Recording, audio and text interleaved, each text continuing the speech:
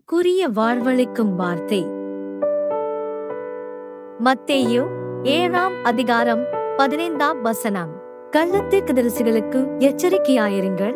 அவர்கள் ஆட்டுத்தோலை போர்த்து கொண்டு உங்களிடத்தில் வருவார்கள்.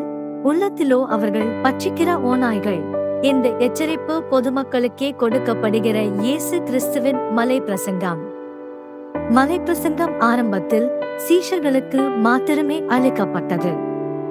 மத்தேயு ஐந்தாம் அதிகாரம் ஒன்றாம் வசனத்தில் அவருடைய சீஷர்கள் அவரிடத்தில் வந்தார்கள் அவர் பேச ஆரம்பித்தார் என்று வாசிக்கிறோம்.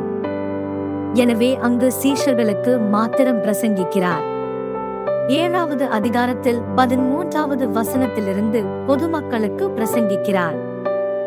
பொதுமக்கள் அவரை நெருக்கினபடியால் சீஷர்களை தனியே அழைத்துக் கொண்டு போய் ஐந்தாம் ஆறாம் அதிகாரத்தின் போதனைகளை கொடுக்கிறார். மறுபடியும் பொதுமக்கள் அவரை கண்டுபிடித்த போது பொதுமக்களுக்கு பிரசங்கிக்க ஆரம்பிக்கிறார். கள்ளத்தீர்க்கதரிசிகள் என்பவர்கள் சபைக்குள் வரும் பொழுது மேய்ப்பரின் உடையில் வருவதில்லை. ஆட்டுத்தோலை போர்த்திக் கொண்டே உள்ளே வருகின்றார்கள். அப்படிப்பட்டவர்களை வெள்ளை அடிக்கப்பட்ட கலரை என்று இயேசு கூறுகின்றார். இன்னும் கிறிஸ்தவ மார்க்கத்தின் சடங்குகள் அடையாளங்கள் மாத்திரம் சபையில் இருக்குமென்றால் அது மதமாகும்.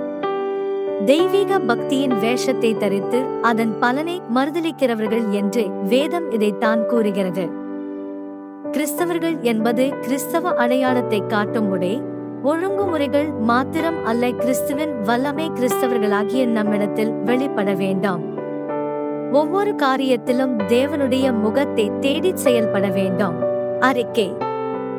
அவரால் பெற்ற அபிஷேகம் எனக்குள் நிலைத்திருக்கிறது. அந்த அபிஷேகம் சகலவற்றையும் குறித்து எனக்கு போதிக்கும். ஆமே